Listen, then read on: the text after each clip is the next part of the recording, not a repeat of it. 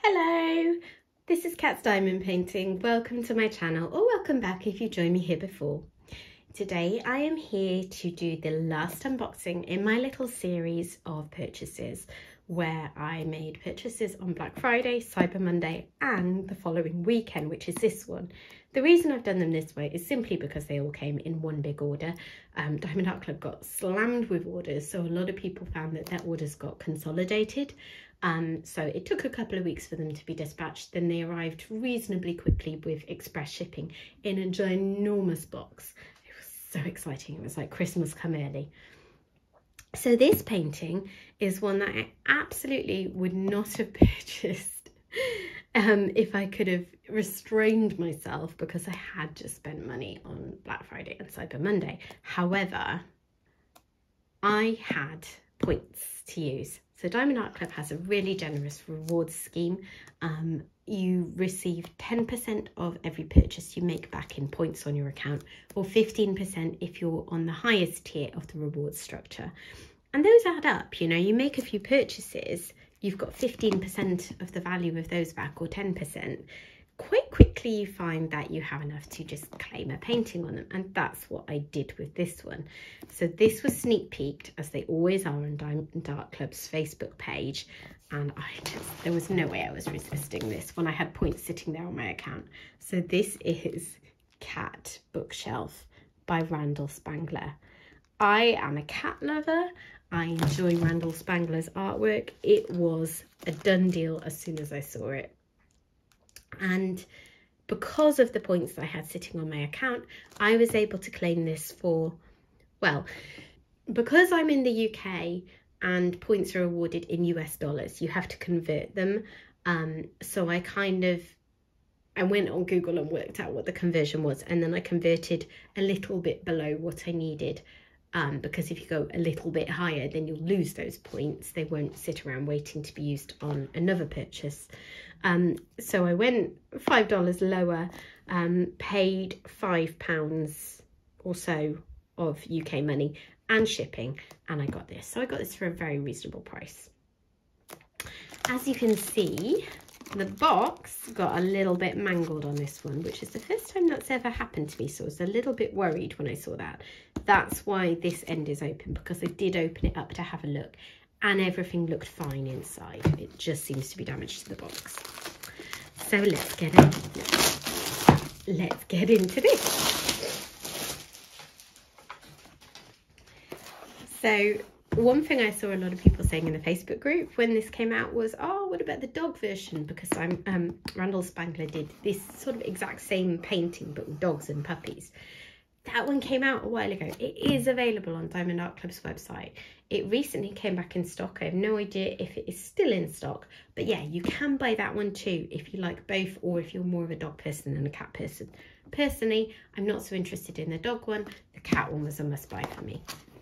So this one is 87 by 70 centimetres, yet another fairly large painting, but what you're gonna do when the artwork really, really calls to you. And I'm anticipating that it'll be one that works up reasonably quickly, despite the size. So, put my sticker on the side, as I always do, for ease of storage and we'll have a quick look in the toolkit. What do we get this time? Okay. So, Diamond Art Club toolkits. They do still have some kits that you can purchase that will come with their older style toolkit. So if yours doesn't look like this, it just means it's one of the older ones. Don't worry, it still has everything that you need. These newer ones that they released earlier this year just have a few extras. So your um, heart-shaped wax comes in a little container. The applicator and comfort grip, the colours vary. The craft tray was upgraded um, to make it slightly larger and to have a stopper. Um, and this one looks like it's a clear and sparkly one. They've actually upgraded it again recently to make it white and opaque so you can't see through it. Um, and that actually I think is going to be really helpful, but never mind multi-placers, um, you get a four and a seven placer. You get a cover minder, which I'll show you and explain what that is when I go in there, and washi tape, same deal. Ziploc baggies, and a set of tweezers if it is a square painting, which this one is. So,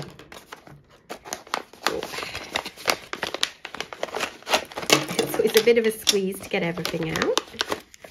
Okay, so here we go. So here's the wax, two plates in a container. One plate of wax will easily do me a whole painting or more. So two is very generous. You get a pen and squishy. There's your tweezers. Super sharp. I can have loads of these because I get them with every square kit. So they are helpful, but most of them, to be honest, I don't I don't need them anymore just because I've already got loads. Um, a little roll of baggies. I want to check these actually because I never used to use Diamond Art Club's baggies because I found them a little bit, um, what's the word I'm looking for? Like they, they were a little bit fragile, like um, they were very thin. They felt like they'd fall apart easily. These, oh, these feel much better. Yeah, so they have reinforced those, which is very good to know. I'll actually be able to use these instead of buying my own now. Yeah, the um the ones that they used to have, the actual Ziploc bit was very, um, why can't I think of the word? Flimsy. That's the word I was looking for, flimsy. Um, so it was quite hard to do up, a bit like this one is. Oh, that's because I've got stuff trapped in there. Fair enough. um, and it also felt like the bag would give way if you opened it a few times. So I tended to ignore them but this seems like a big improvement. Um, here's the tray. Stopper there. Nice and sturdy. Some pink flowery washi. So washi tape, people tend to use it for two main purposes. One is to outline the edges of their painting where the glue extends beyond the painting area and people use it so that that doesn't get all covered in fluff basically. The other one is some people like to section their paintings off to work on them by placing washi tape over the clear plastic cover to make sections that way. Personally, I, I pretty much just collect it. I don't tend to use it that much, but I still appreciate having pretty things. And, oh, what a funny cover minder. So, cover minders are little objects, um, usually like cutesy, pretty things um, like this, which, what is it? It's like a lolly, but it's a duck or something. I don't know. That's confused me. Anyway, on the back, we have two magnets. So what you do with a cover minder is when you have peeled back your clear plastic cover to work on your diamond painting and you don't want that to keep getting in your way, you reach under your diamond painting with the bottom magnet, you place the top magnet on top of the painting, on top of the clear plastic cover to hold it down where you want it to be. They connect through the painting and that's your cover dealt with. So I love cover minders. I like to collect them. That one is pretty cute, if a bit surreal. okay, I'm going to get this toolkit packed away. Okay, let's have a look in here. I really am looking forward to working on this one. So, you get into the dust cover. This one does not want to come away. I always try and preserve them intact as much as possible so that I can store them in paintings. Okay, Diamond Art Club's lovely soft cover not cover, canvas. Their canvases have this really, really soft tarpaulin, um, I think is what they call it, backing. And they're really flexible and they're sort of, they're firm and sturdy whilst being really malleable. They really are the best canvases I've worked with. We'll get our painting innards out. So we have the usual how-to booklet, which says thank you for your purchase. and gives you tips and tricks what's included and also links to uh, the VIP Facebook group and to discount codes. And we have our sticker sheet. I really love that Diamond Art Club provides a, a sticker sheet like this. The photo, um, not photo, the picture side of it, I like to put in um, just a notebook that I'm going to eventually turn into a logbook. But this will give you all the painting details as a refresher. So we've got again that it's square, 87 by 70, um, and also the size in inches as well. And a nice bigger picture so you can see a bit more closely what this is going to look like. Isn't it adorable?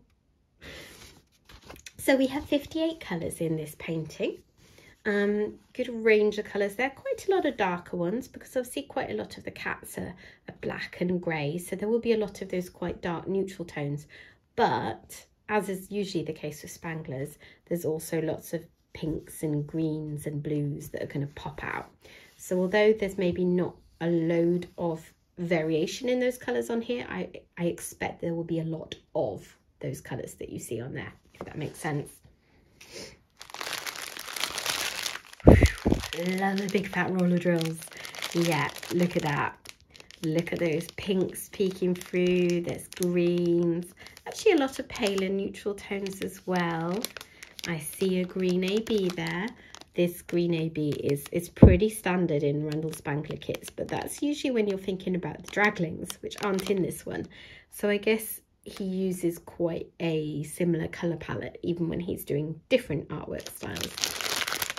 Um, a lot of these drills lots of 3799 lots of 3371 so as before, lots of darker drills let me see what I can spot without getting all of these out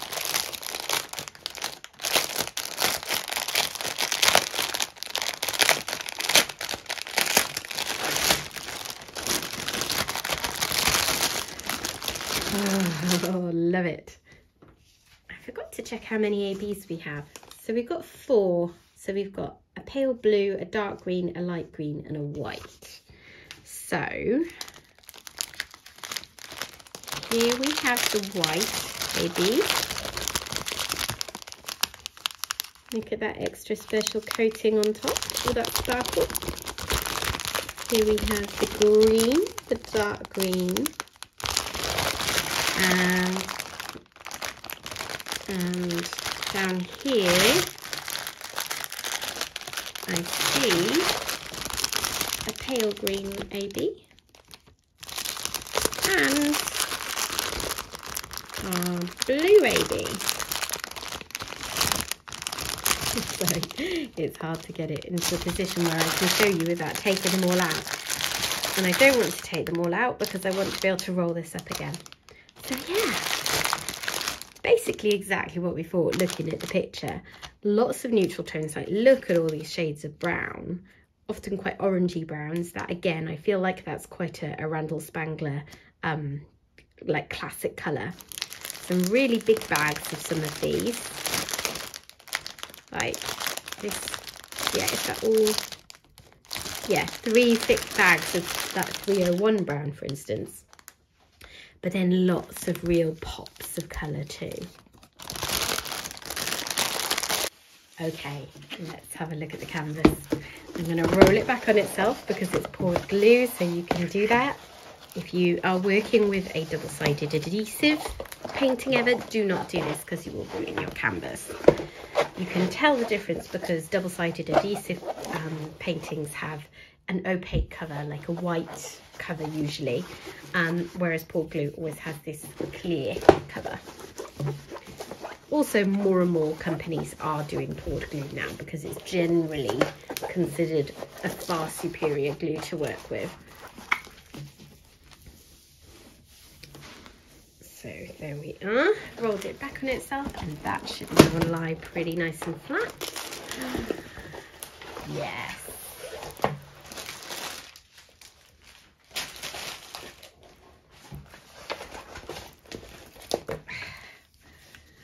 beautiful.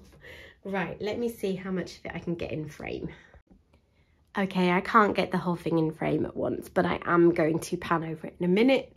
I will just show you like this for now. So we've got the chief cat up there, the real cat as it were in the painting. And all these little kittens and cats on books. And the thing I'm really looking forward to picking out is all of the, the titles on the books. Um, so yeah, let's have a look at that now. Okay, from left to right, we have Harry Catter. We have Tale of Two Kitties. We have Cats are from Mars. this one doesn't have anything on.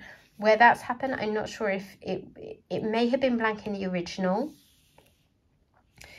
or it may be that whatever was written there was just too big for them to render it into diamonds. Okay, the black cat, the great Catsy. That could have been Catsby. Maybe they thought that wouldn't fit as well. Oh no, that is, ah, that's supposed to be a B. Okay, maybe that will be more obviously a B when it's actually diamond painted. We've got Cat on the Orient Express, Dream Cat, Alice the Cat. Is that like an Alice, like through the looking glass type thing? And then we've got more Harry Catter, the cat, the dog. Oh, I don't know what that says. Mm, and that says cats on its side. Uh, is that a cat of Green Gable?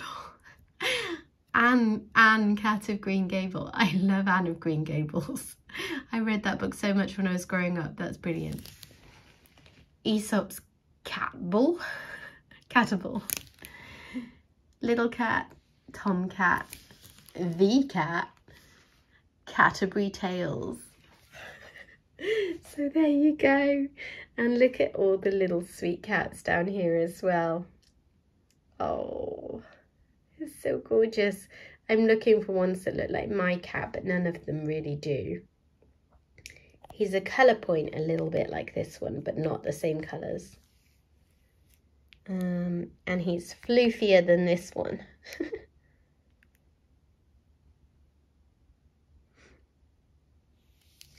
So I'm just looking at all the little details. You tend to find all kinds of things sticking out in these paintings when you look at them closer. We've got a little mouse hanging down from the big boss cat's mouth. There we are. Okay, I'm going to pan over this and then I'll come back to say goodbye.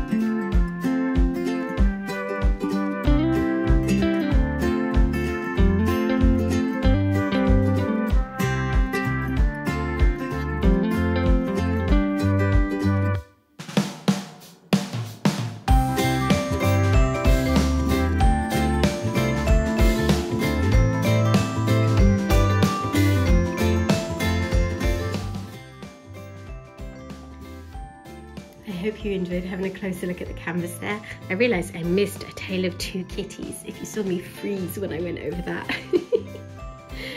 so this painting did sell out on release day and it is currently out of stock, but it will be back. Um, so if you want to get this painting, you can enter your email address on Diamond Art Club's website on the entry for this painting and you'll get a notification when it comes back. I'm going to leave this here, get all my new pretty paintings packed away. Um, I hope that you've enjoyed looking at all of these with me. I've certainly enjoyed unboxing them all.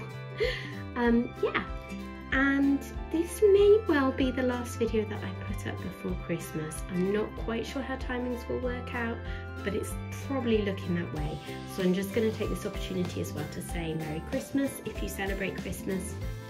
Have a lovely holiday and, a bit of a break, I hope, um, regardless, and a Happy New Year as well. So thank you very much for your support this year on the channel. I've really appreciated having you along on the ride with me. Um, and yeah, here's to 2023. Bye bye.